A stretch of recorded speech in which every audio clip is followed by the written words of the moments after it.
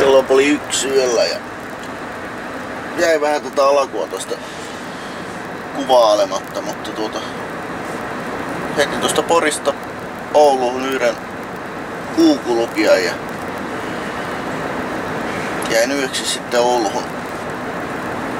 Maanantaina on niin kuin nyt keskiviikko aamu sitten. Mikähän päivä nyt? En tiedä mikä päivä on, mutta maanantaina lähärin kumminkin päivällä ja ajoin illaksi Porihin ja tiistai-aamuna Purkaaliin. Siitä tulikin sitten ylläri pylläri lähtö, niin tyhjänä Vaasaan ja pari raktoria kyytille ja Vaasasta Uumajahan tultiin nyt tällä oikein sillipurkkia sillipurkilla. Ja otetaan tuossa lepiä muutama tunti ja lähdetään Norjan rajaa kohti. Johonkin vai mikä, mikä mahtoo olla paikan nimi, niin sinne pitää viedä muutama valmetti ja näkyykin. Toisen auton päällä on pari traktoria kanssa. Tällä laivalla kyllä mikä Vaasa Expressi, mikähän tämä on. Vaasalainen. Aika tällainen kamala paatti ja kamala hytti oli, mutta ruoka oli hyvä. Ruoka oli paljon parempaa kuin tuo linkillä. Semmosta. Yhtään en nukun, nukkunut siellä home, homekämpässä kyllä, mutta siellä oli lattialistouskin sellainen valehtelematta kolmen millin pölykerros ja lattia ja mitään ei ollut imuroitu. Vessan seinistä oli valunut sinne koko lattiamatolle. Joo, valkoinen homeesta se vatto mun mielestä. Ja että se haisin, että mulla kirvelee vieläkin sinimiä. Ei siitä tullut sitä nukkumisesta mitään. Enkä mä sitten toisen kuskin kanssa sitä arvuuteltiinkin, että passaako nukkua. Siinä olisi nukkunut muutaman tunnin, niin sitten ei pian aikaa tässä maissa olisi saanut nukuttua. Nyt on matka ei kestänyt sen nelisen tuntia. Arabia neljä tuntia, kun se meni. Joo. Mutta kattellahan tosta päivä valkee, niin lähdetään leikkaamaan tosta Uumajasta sinne, mikähän Ström, Ström, Strandel, Strand, Strolleri se oli mihinkä. Mistä me tull, mennään niinku rajan ylitte, mihin on tullipiste. Siitä eteenpäin. Mutta palataan juustolle.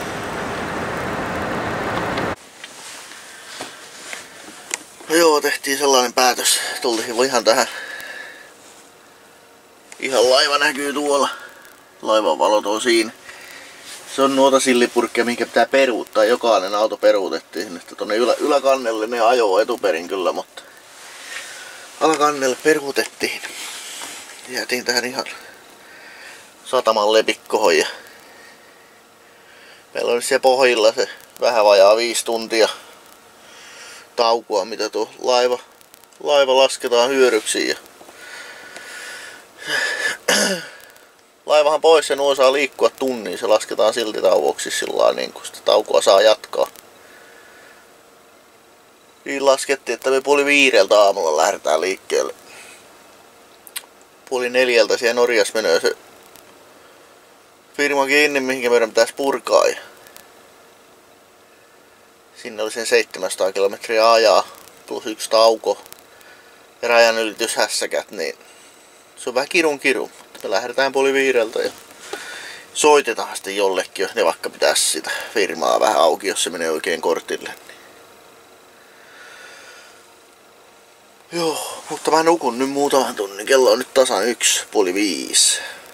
Kolme ja puoli tuntia. Joo, kolme ja puoli tuntia. Tiukkaa lepiä ja sitten vain vetoja, vitusti vetoja.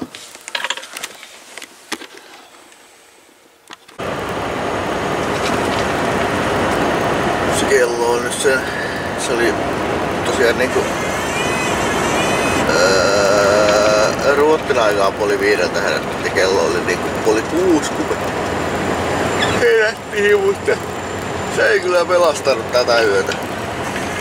Oli pojat sellainen myrsky tuossa aina kun vähän nukahdit, niin tuli sellainen myrskynpuuska, että heräsi siihen, että mitä nyt tapahtuu. Sitten mä heräsin siihen, että oli aivan liian kuuma ja sitten mä katsoin, että no ei tässä ole enää kuin tunti aikaa nukkua. Sammutin vepaston kokonaan sai. Tuossa ei mentiin siltojen yli tätä Suumajasta ennen Uumajaa tuosta sataman jälkeen. Kyllä meri tyrskys jonkun verran, niin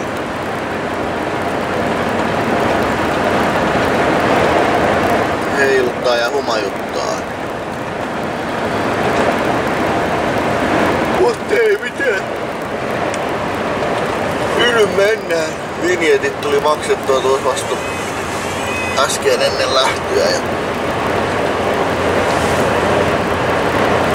tankkia täynnä, se tuli Vaasasta kattua. Vain niitä vetoja. Niin, aika tällaista erämaa, erämaata tämä paikka. on varmaan 10 kilometrin ollut kuin muutama vanha maalaastalo, mutta komia ruska täällä on.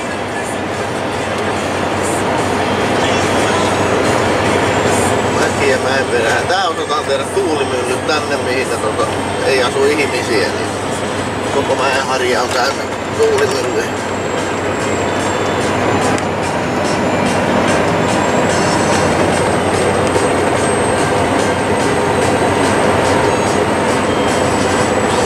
mennyt niin hirveän pohjoisessa edes ollakaan, mutta vaikuttaa niin kuin oltaas pohjoisessa.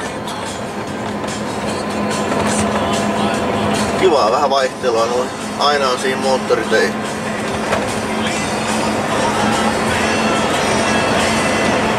Soul FT, T51.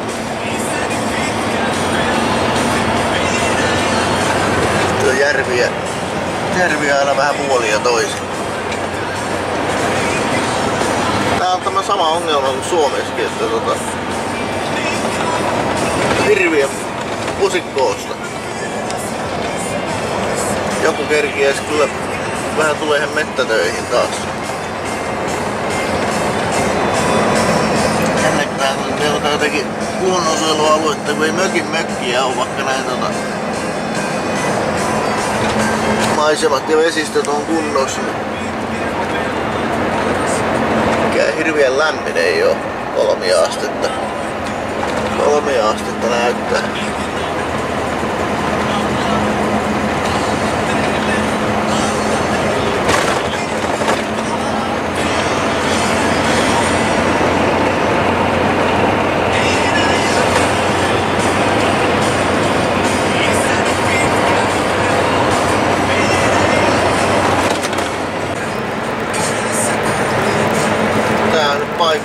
Tuota räppää enemmänkin. Sitä paikoin tiellä ihan... Ei nyt tiellä on liukasta joo, mutta... Tässä jonakin päivänä on tullut vähän enemmän. Vasemmalla näkyy joku tunturi, joka on aivan lumessa. Oikein osaa sanoa, että millä korkeudella nyt niin ollaan. No Trondheimin korkeudella. Joo, me ollaan ihan Trondheimin korkeudella. Tässä sitten Suomen puolella olisi. Ja ei me olla Vaasan korkeudella. Aika jännä. Aika jännä. Niin se on. 71 kilsaa rajalla. Tunnin verran. Tunnin veto rajalle ja siitä se 150 kello on nyt. Kello oli 12, oli 1, 1. Meillä on toiveita, että me päästään vielä Valmetista eroon.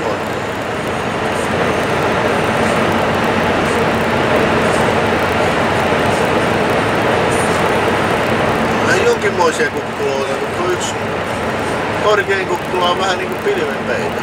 Toki pilvetkin voi olla matalalla. Ja rupes taas väsyttää hän niiluja. Sais romut pois kyytistä ja ajeli sen mitä ajoaika vielä antaa pyörä, jos sitten jää vähän jäljellä. Tai jos venyttää kymppituntiseksi, ajaa jo vähän kotia päin, niin se olisi sitten huomisen pois.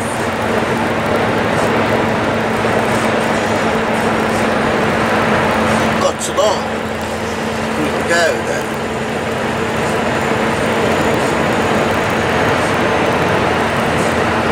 En tiedä, mutta minä kyllä nautin näistä maisemista. On niin saatana hienoa maisemaa. Mä voin kuunnellut Lauri Tähkää vanhoja, vanhoja biisiä melkein koko päivä. Nauttinut, nauttinut, nauttinut maisemista. Laki on tuolla asia. Mun mielestä on niinku hakkuu au, aukkoja. Siellä johonkin vaiheessa on jotakin hakattu. Hakattu muutakin kuin emäntää. Oho, olipa hyvä vitsi.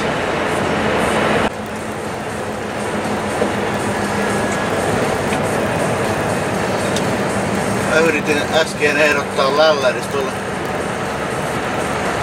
toiselle kaverille, että joko pidetään laittaa ketjut pyöriin. Sen verran näkyy härmää tuolla rinteessä, niin pannaan edes yhteen vetopyörään ja yhteen etupyörään. Päästään kotia täältä. Se meinas, ei nyt laiteta vielä tällä reisulla. Kai tuolta löytää sitten se, kun lähtis teltaan taas viikoksi pariksi rämpiin tuonne mäkeen. Tulis puolta fiksumpana takaisin. Storlien, Storlien, sinne, sinne me mennään. Siitä me mennään ylitse.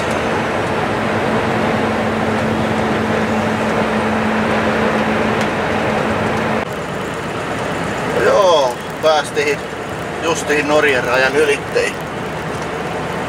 Oli sitten het vähän vittumainen tulliäijäsi ja se kiljuu, kiljuu heti.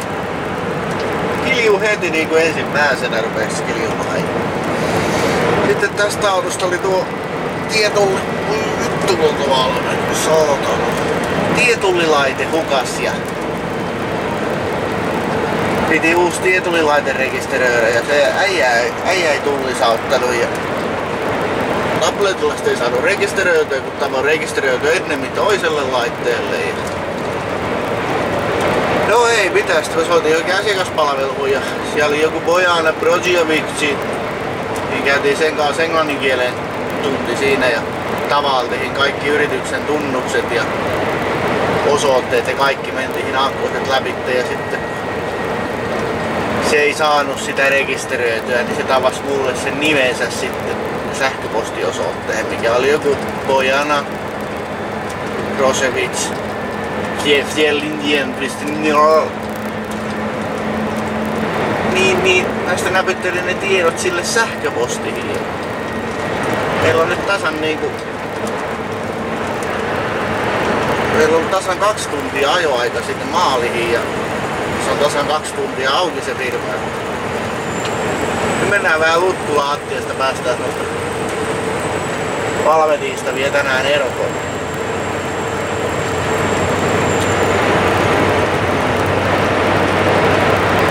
Mutta oli pieni, pieni askartelu siinä, sitten kun ei tiennyt, että sainko mä oikeaan sähköpostiosoitteen ja kun se piti jollakin monivalintanumerolla sieltä automaattista satunnainen tyyppi tuli mua palvelemaan, niin ei ollut enää ketään kelle soittaa. Mutta kyllä se sieltä sitten pisti sähköpostiin, että yritykselle on luotu uudet tunnukset ja laite on aktivoitu ja toivotti hyvää matkaa ja hyvää päivänjatkoa. Tota, ei mitään muuta kuin vetoja. Ja meillä meni siinä, joo, siinä meni yli 45 minuuttia meni siinä. Ui vittu kun meni läheltä peili. Näköjään se tauko tuli pidettyä siinä. Oli kyllä harvinaisen. Se oikein huuti se tullia ja Norja Englannilla sössötti menemään.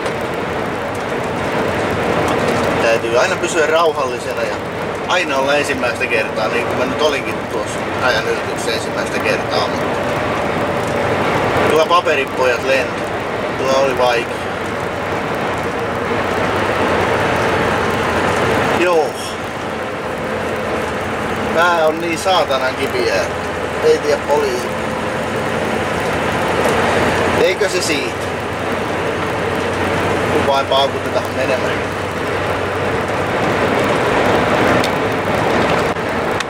Saako näyttää se sitten, kun me lähdetään tuonne ihan rannikolle ajamaan? Joo, jännä nähdä. Toivottavasti ne odottaa meitä siellä, niin sais ottaa vitosen vauhdista poistamaan aika kyyttiä, niin kyllä. On se on.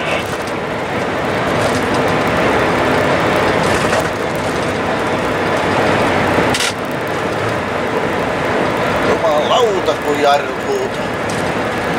Onneksi on hirastin, niin saa vetää hirastimella. Tähän sulas jarrut näihin mäkiin.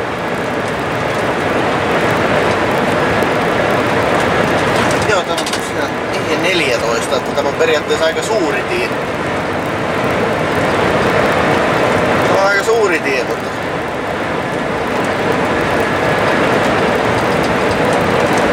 jättä kun menee aivan korvat lukkoon.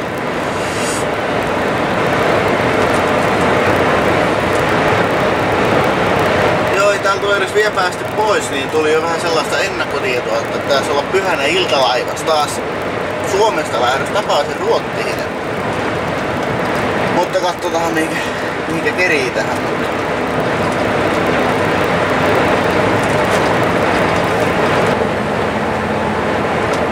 Verdal. Verdolli, voi vittu.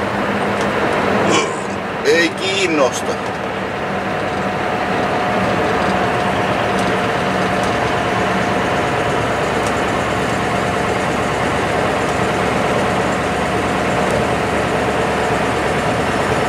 Ver-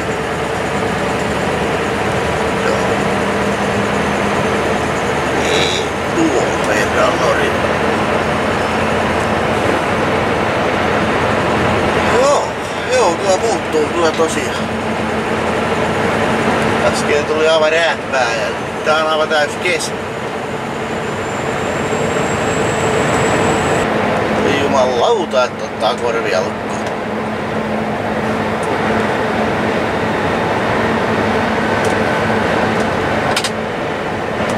Ai jumalauta.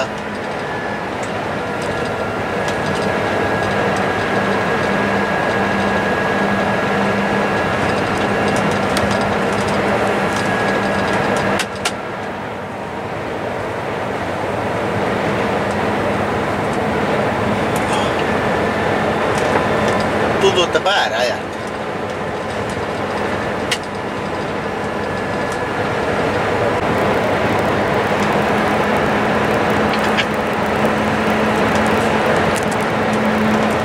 Voi voi voi tuo tuo.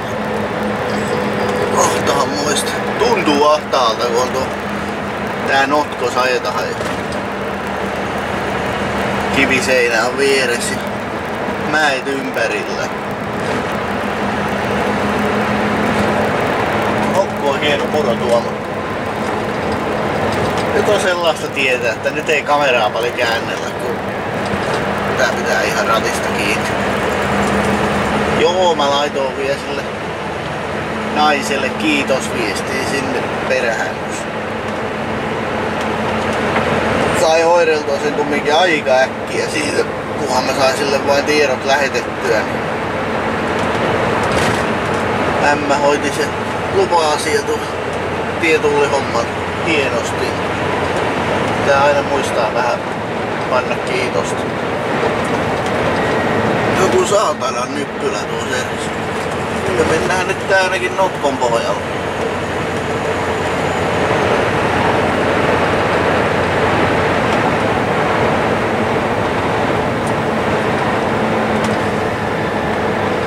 muualta vastaan. Mutta on ahdasta. On todella ahdasta.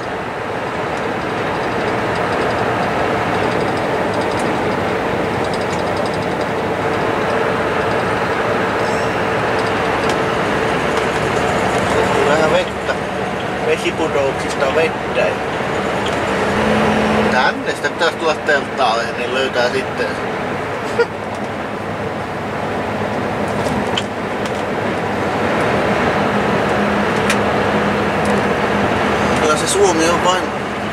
On vain aika tasainen maa. Eikä tää tuu joku erikoiskuljetus. Tuloo. Hienoa. Bread lasti, long lasti.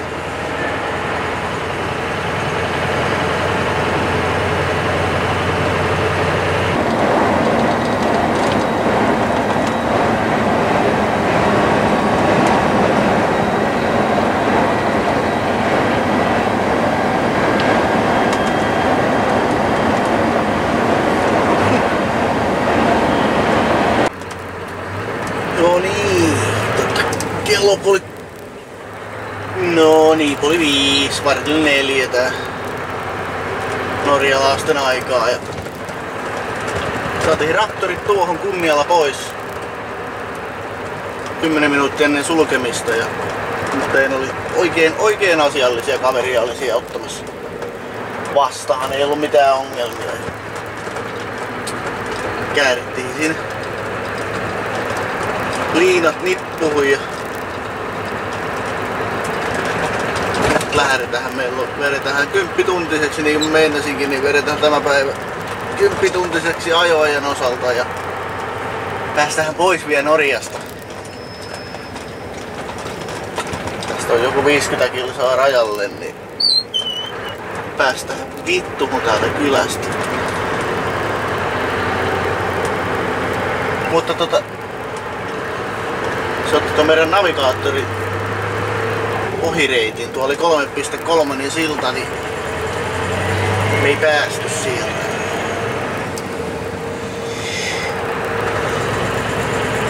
Mä menen vain majakkana tää navigaattorin perässä. Tää on niin mahtava keli, ei tuulu yhtään. Ja ei nyt kuin kahdeksan lämmintä, mutta on aivan teepaita keli tuossa kentällä, kun noita vehkeihin tiputti kyytistä.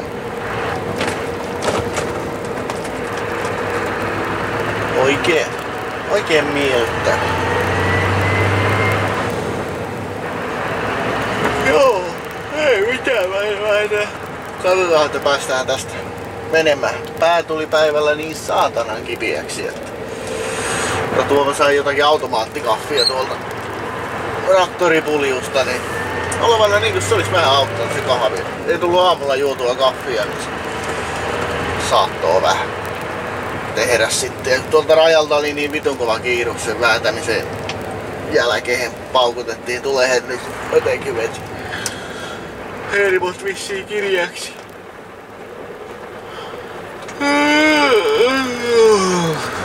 Kyllä mä nukun, niin siinä voi pojat mä nukun.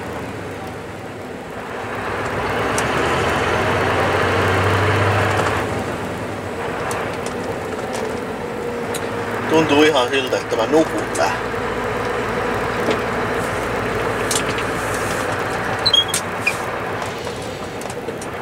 Tätä on kanssa hidastettu, jos siellä luvattu maa näköjään.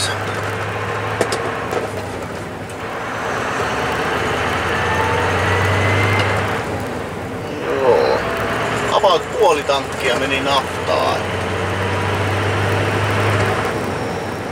Jos tästä on yhtään lyhee takaisin, niin tätä pitää vähän mittailla jonnekin kohtaa, että tarvitseeko tää ottaa ollenkaan naftaa vai pääsisikö pääsisikö omilla tuonne Seijantuvan sellille Naantaliin.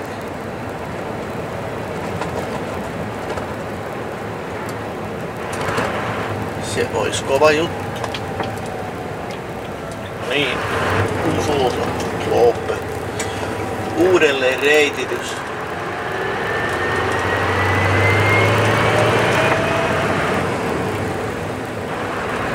Täältä näitä Valtreja tulee vastaan.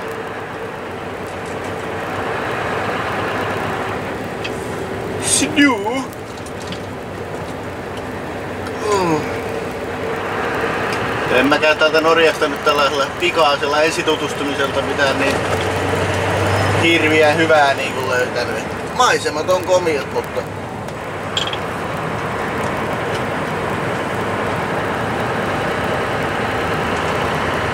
ei no mitään muuta niin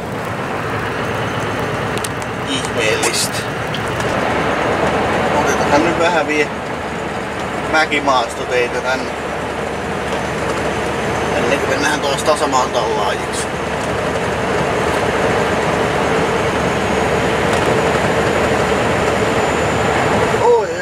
Vähän rupeaa soleen niin tälle päivään kyllä täynnä jo tätä ajamista. Ei auta itku markkinoilla. Siinä olisi toiveet. Se huomisen lastaus, kun tuo joku kuorma-auto kyytille ja tähän tuosta rajalta sitten meillä menisi varmaan pari tuntia sinne ja kaksi puoli tuntia. Aamulla joku pari, pari kolme tuntia menee varmaan ajaa sinne lastauspaikkaan ja tähän siitä menisi sitten Keppisaareen. Menisikö siitä viitisen tuntia Keppisaareen? Meillä olisi toiveet huomisen iltalaivaan, jos vain kaikki menee nappiin. Laiva, laivalla olisi vielä tilaa, niin päästään siltalaivahan, niin päästään niin ajoa Suomeen, mutta sen nyt näkee valitettavasti sitten huomenna. Sitten tuo pitkä ventti, jos ei huomenna päästä iltalaivaan, niin ollaan joskus illalla viiden kuuden maissa satama siltalla illalla ja siitä odottaa aamulaivahan niin rapia kellon ympärystä 15 tuntia ja siitä laivaa ja siellä 9 tuntia, niin siinä menee kokonainen vuorokausi. 24 tuntia menee täysin hukkaan siinä.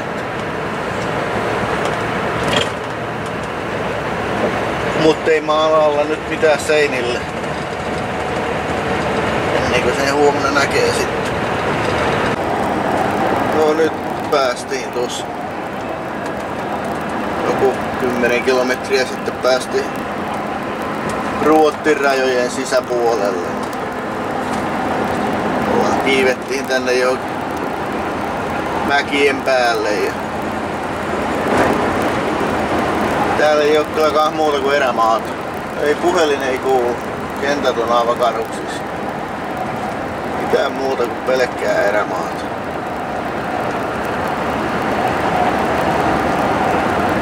Mutta aivan katteltavia nämäkin maisemat.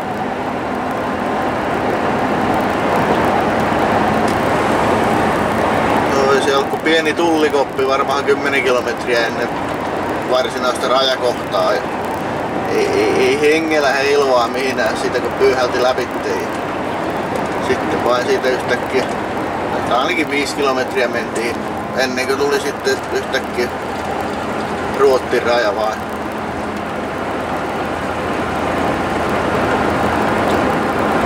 Aika niukkoja on nämä rajamuodollisuudet kyllä tässä pohjoismaista.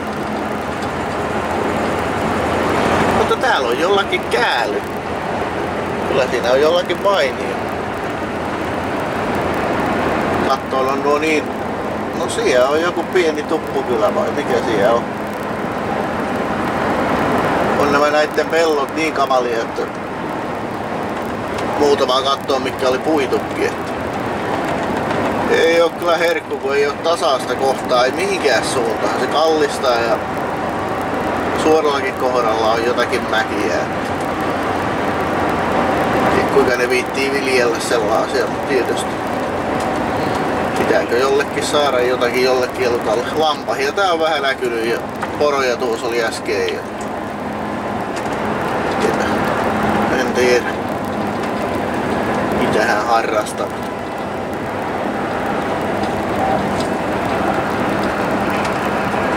pitkästä aikaa edes jotakin asutusta. Kai tääkin on niin huono keli voi olla, että portit pannahan kiinni.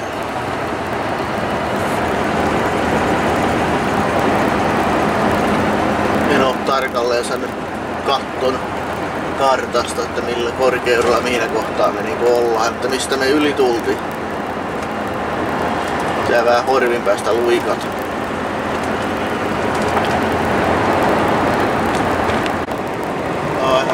ollaan pikkuisen Vaasan yläpuolella. Sininen piste tuossa, niin tähän pohjoinen on tuo, että me ollaan melkein Etelä-Ruottis voisi sanoa, eikä meinaa pohjoisesta.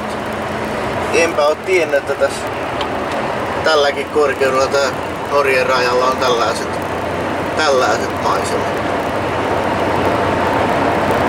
En tiedä minkä muista siellä pohjoisessa on, sinne pitää täytyy pyytää joku kiilakeikka sinne pohjoiseen. Pohjois-Ruottiin tai Norjaan, mieluusti Norja. Sydän talvella niin, että saisi oikein ketjuttaa ja asulla siellä viikkotolkulla.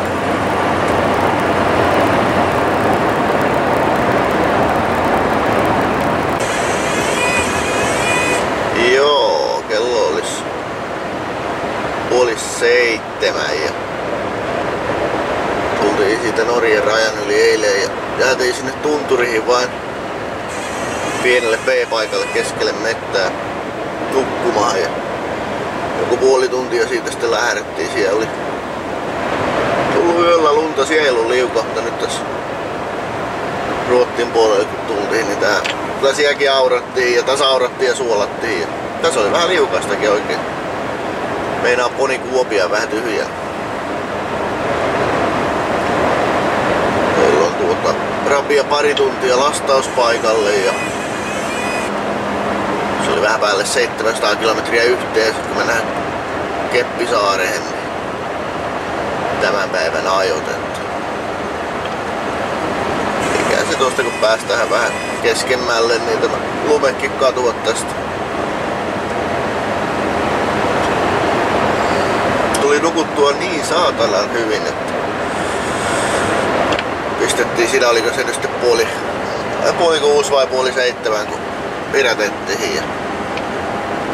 Oli pää niin kipiä, että mä että mä menen hetkeksi vain petille. Käytin vähän autoakin siinä viemästä. Toki sammutin auton ja panin jo vepaston päälle, mutta en pannut verhoja en mitään kiinni. Ei, mä panin YouTube-video 10 minuutin YouTube-pätkän pyörimään ja mä en oo sitä loppuun nähnyt. Ennen kuutta periaatteessa nukahtanut. Heräsin toki yöllä yhden kahden maissa, olin tunnin verran hereillä ja nukahdin siitä vielä uudestaan. Eikä meinannut kelloa herätä. Ja tuli melkein 12 tuntia nukuttua. Teki oikein hyvä. Ei oo pää kipiä. Oikein, oikein tällainen mukava fiilis. Kaffia kun saisi jostakin. Jos jostakin saisi vähän kaffia, niin se olisi kova sana. Ei tää oikein, nämä on niin jotenkin mettä kyllä, että tuossa äsken näkyy joku isomman kaupungin valot, mutta katsotaanhan nyt jos tuossa tulisi jotakin vastaan. Mutta sellainen lossakkakeli täällä on.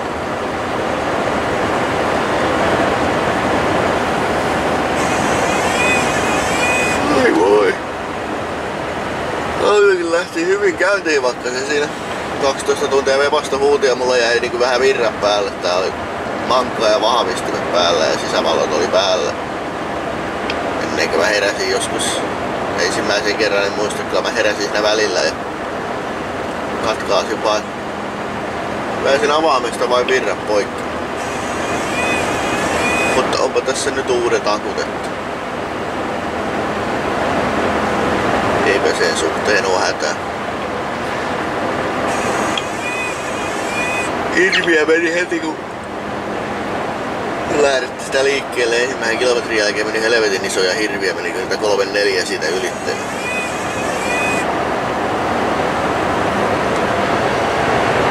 Jatketaan matku, matka matkan tekoa. Kello on jo puoli rahaa kolme, neljä, neljä tuntia melkein lastattiin mulle tuli Kaanian kuorma-auto, mihin on joku, en tiedä mitä, eli kaivospuhallushässäkkää siellä kyytillä ja toiseen autoon tuli joku joku, joku ruisku linkku härveli, en tiedä mikä on. Mulla ei kuin joku 19 tonnia tuo kuorma-auto. Oli 26 vai 24 tonnia, mitähän tuo oli tuo. 24 tonnia tuo vaunu. Sen kanssa oli vähän askaresta siinä, se meinasi jäädä vähän korkeaksi. Mulla on 440, että mulla on nyt ihan kohtuu ok korkeus, silloin 445 ja meinasi jäädä 460, mutta saatiin tehtyä vähän temppuja vielä. Ja piti purkaa sitten yksiä rautoja vielä pois. Ja se meni herra leviäksikin, mitä ei ollut ilmoitettu oikein. Nyt sai tämän päivän ensimmäiset lihapullat naamaan ja mennään tuosta joku 30 kilsaa ja pidetään siinä pieni kaffitauko sitten. Ja tänään aamun jälkeen ei ole pidätetty, tuo oli niin tympiä tuo lastaus. Mulla oli ajosillat jääs ja meidän meinannut nousta, meidän piti hiekoottaa tuo ajosillat ja tuo häntä, että se kuorma sai sinne ajettua vauhdilla. Ja siinä ei oikein ollut jarruja tuossa kuorma-autossa. Mutta ne on nyt siellä kyytillä ja Kapelsääriin Vaasasta, Vaasan laivalla oltaisiin päästy ylitte kyllä, mutta tota, se on tarkka korkeus 440, niin tuo auto ei mene sinne. Keppisaarissa ei oikein enää ollut niinku paikkoja, että ventti paikalle mennään, että jos päästään iltalaivahan, mutta se on aika, aika epätodennäköistä ja meillä on niin tiukka aikataulukin, että no siinä jos on kuuden, kuudeksi näyttää sitä navigaattoria, että me oltaan siellä. Plus siihen tunnin tauko ja todellinen ajoaika on kumminkin enemmän, niin lähteehän se vasta puoli kymmeneltä vai kuinka se laiva lähti, me kokeillaan mennä sinne. Tuolla toisella autolla olisi oikeasti vähän niin kiiruskin mennä ylittäjä. Mulla ei ole oma kiirus, että katsotaan nyt saa taas se edes sitten jos olisi niin hyvä säkä, että se pääsisi vettä paikalle. Ja ylitetään vaikka päästään molemmatkin, mutta mä oon henkisesti valmistautunut ainakin siihen, kun ei ole luvattua laivapaikkaa, että tuskin, tuskin pääsee. Katsotaan. Joo, 5, 6, 6 tuntia, kuutisen tuntia on ajoaika, että saatais vähän vielä kulutella tällä päivällä. Oi vittu ja ne kilometrit laittaa.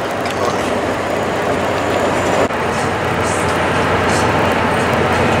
Oh, kolmisen tuntia vajaa olis vie tuonne satamahan ja ollaan nyt neljä tuntia ajettu sieltä lastauspaikalta, niin suunniteltiin vetää tuohon B-paikalle tässä vaiheessa. Kaveri keittää kaffeet meille pidetään puoli tuntia siinä. Jatketaan sitten. Viimeinen veto. Tuli ennemmin joku huoltsikkakin, mutta vähän tuttua sen näköistä. Tartti kiemurilla nämä tästä tien varresta. Se on sama mihin sen puoli tuntia notkuu.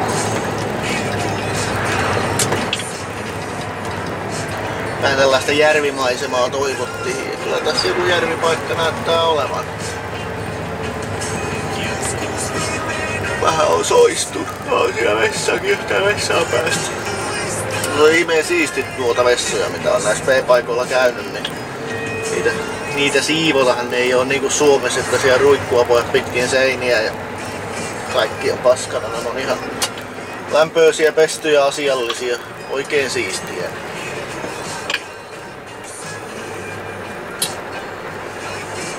Siinä on meidän taukopaikka.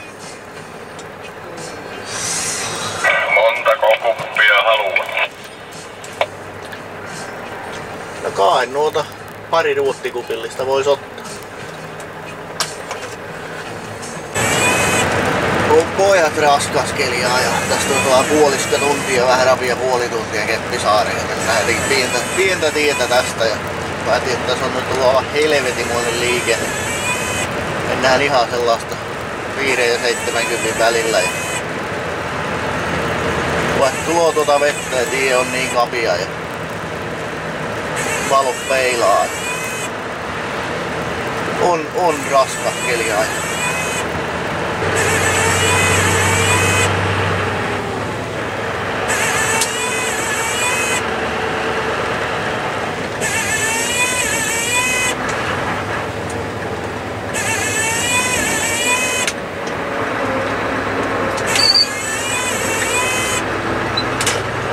eksoottista touhua.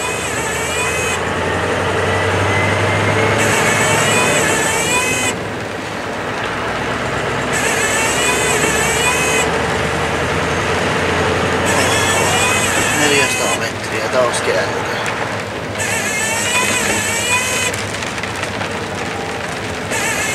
Tuota vesisadetta ei niin tarvittaisi ollenkaan.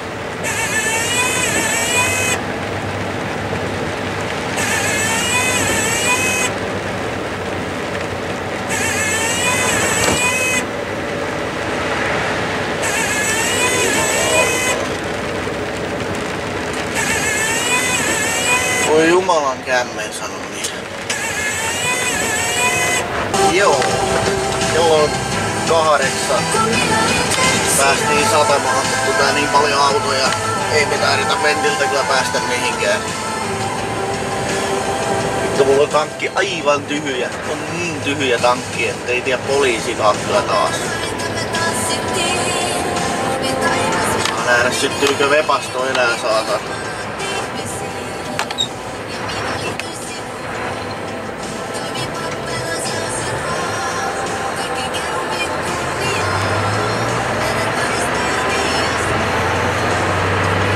Saatana. Viimeinen kerta, kun otan nuo vähän naftaa.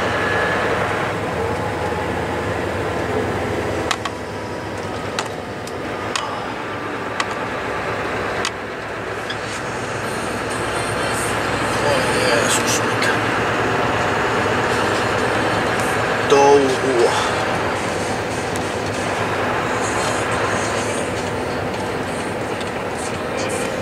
Mene vittu mun sillä vitun Audin paskalla siitä.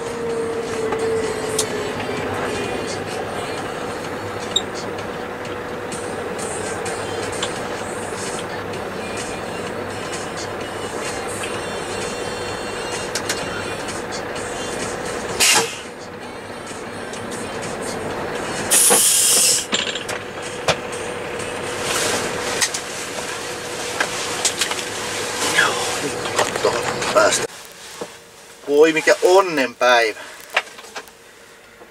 Ei ketään ventalla ja päästettiin suoraan. Saati saadaan ajaa sisälle. Lotto vetämään.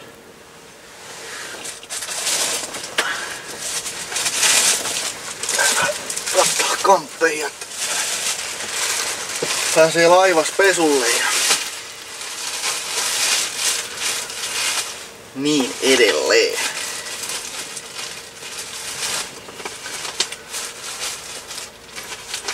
Hyvä ei tarvitse pyörittää vepastuakaan yötä, kun pääsee laivaan.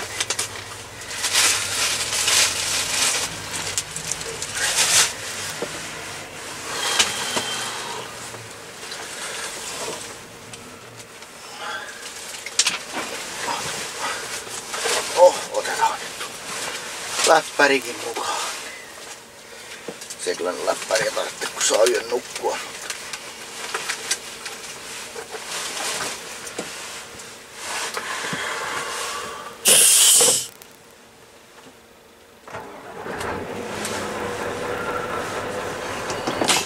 Ajetaan nyt tonne. Ajetaan porttien sisäpuolelle. niin Kattoa vielä loppuvermeet siinä kasalla. Mä en tiedä, oliko siinä joku riski mulle, mulla vähän leviä, että mulla oli 285 leviä, niin se käski mun ajaa tuonne jokin sivummalle. Että en tiedä, onko siinä joku riski, ettei tota... Että mä en pääse laivaan, mutta...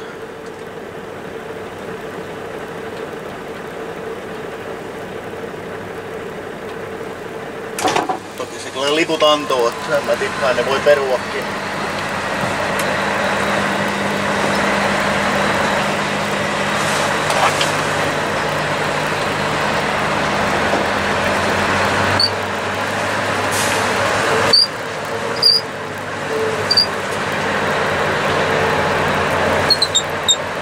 Vittu kyllä.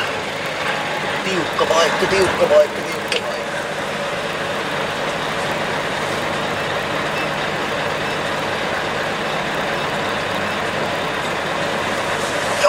Sportti. 2324.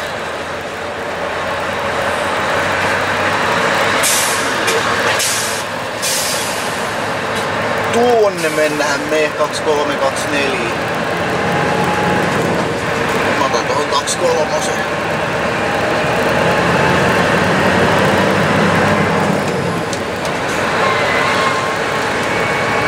Mä otan 24, kun tuolla on joku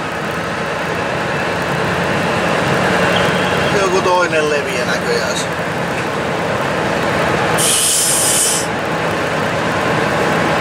No, nyt mä aina otella, kuinka käy. Mä tässä juttelin yhden kaverin kanssa, mutta tuossa on niinku... Mä sanon, että mittari on pohjas, niin se on pohjas. Ja se toimii kyllä, mutta se tota, aivan turhan paljon ei ole naftaa enää jäljellä. Pojat siellä tiputtelee laiva. Saa nähdä koska, koska tästä päästä.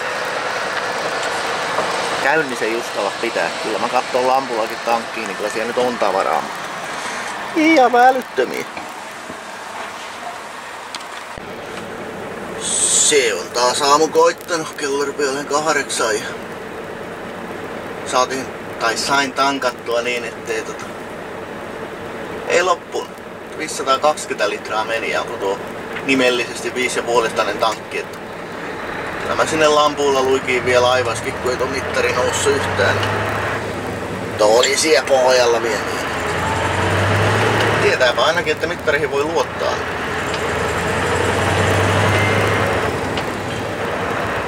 Muruutellahan tästä Urjalahan ja puolentoista tunnin nykäisy ja Mä tuossa pian rupean varmaan soittelemaan. Yrittää vaikka kahdeksalta ruveta täristähän, mutta... Soitan ja kysyn, että onko tässä jotain, jotain jatkoja jonnekin tai mitä, mitä tässä tehdään. Sinne sunnuntain iltalaivahan Turkuun tässä päästä, mutta sinne on vielä monta päivää aikaa kaksi päivää vielä, niin jos kerkeä tapahtuu vaikka mitä. Meinaa vetää tämä alkupää vähän huonosti tässä, kun huono kellonaika liikkuu.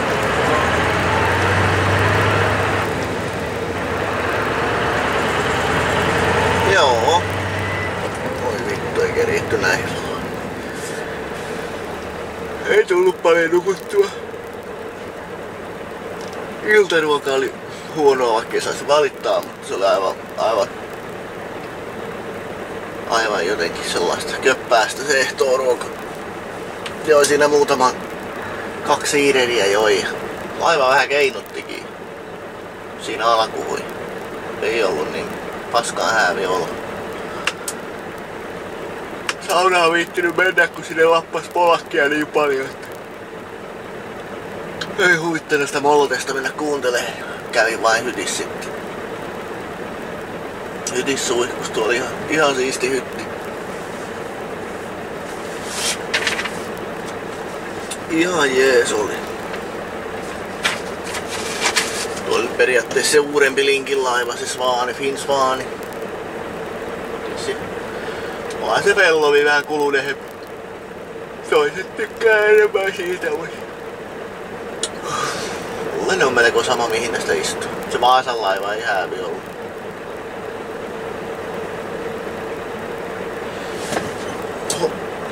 vaihde päällä.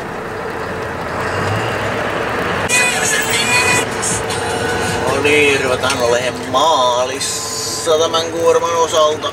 Vielä pitää purkaa toki, mutta tulihan siinä palukuormastakin jo tietoa.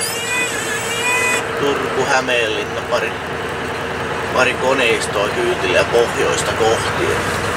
Mä hain romut kyytille ja uruuttelen tuohon lakeuksille. Saa toinen kuski lähteä jatkohan tätä lähestä. Pyhänä sinne Turkua kohti. Mutta saatan ajaa kotia kyllä pestättää sen verran tuo kuraruuppa lenti, että taida mennä sillä, sellaista reittiä, että mä pääsen menemään kotiin. No niin, kuorma-auto saatiin pois kyydistä ja tuossa tutkailin tuota jakkoreittiä ja katsoin, se on lyhyen käydä Hämeenlinna sen sijaan mennä sitten Turkuun sieltä oikoreittiä paukutella tuo lakeuksille. Tiemme erkanivat toisen kuskin kanssa. Sitten saatiin yksin kolutelta nyt sitten. Joo, 48 minsaa näyttää mapsi. Mapsi Hämeenlinnaan, tuota. Siitä eteenpäin sitten.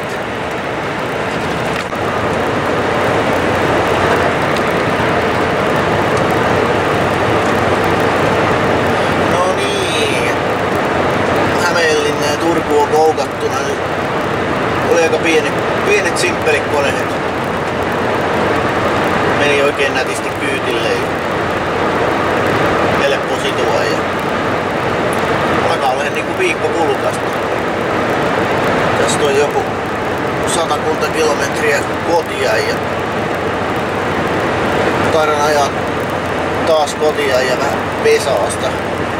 Pestä tän auto ja imuroida. Tää tuli niitä ruiskubetonin vehkehiä, niin tää on betonia nyt sisälläkin, kun vaatteet ja kaikki sotkee tuonne joka paikka ja kengistä tuli, niin ja tuota rommaa on kertynyt nyt niin paljon tänne, että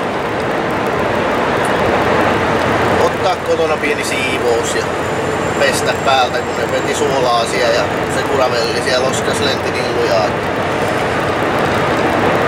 Pestä, pestä viikon paskat pois. Otetaan siinä joku noin 3000 kilometriä, sitten ehkä vähän päälle, tuli tässä viides päivässä. Tekee joka päivä ajettiin kumminkin ajoajot niin kuin täyteen. Hienot siellä maisemat ja hieno ruska ja vähän erimoisia teitä. Ei ole aina sitä moottoritien edestakaisin hinaamista. Oikein mukava. Oikein mukava. Reissukaveri, joka oli toisella autolla, niin oli oikein, meillä meni oikein niin sanotusti ajatukset yhteen. Urittiin ja lastattiin ja sidottiin yhdessä ja ei meillä ollut mihinään taukojen pitämiseen eikä mihinään ollut mitään. Meni oikein mukavasti.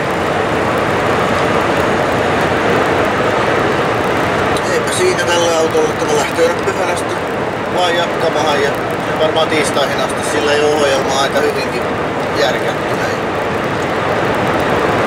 Pojat on pyöritellyt sen mun sunnuntai kuorman auto on niinku valmis, se on lastattuna ja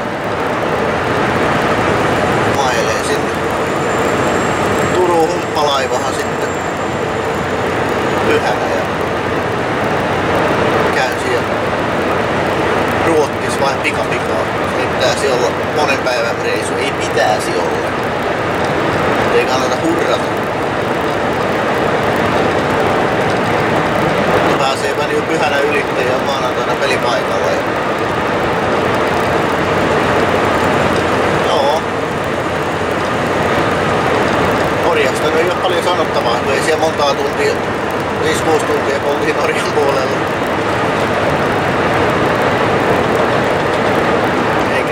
Nyt näkynyt pieni pala, mutta tota, kyllä ne hienoja maisemia on. Pienet tiet ja sellaisiahan ne on. Tulipa tosiaan käyty. Ei kai siinä mitään. Muuta kohti seuraavia vetoja.